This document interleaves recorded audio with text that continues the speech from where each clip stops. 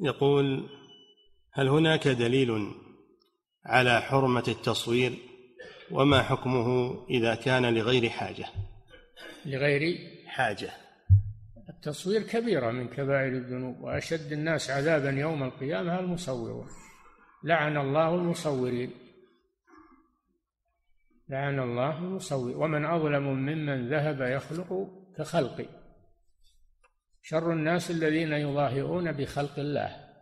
أحاديث صحيحة كلهم ولكن التصوير ما يجوز إلا للضرورة.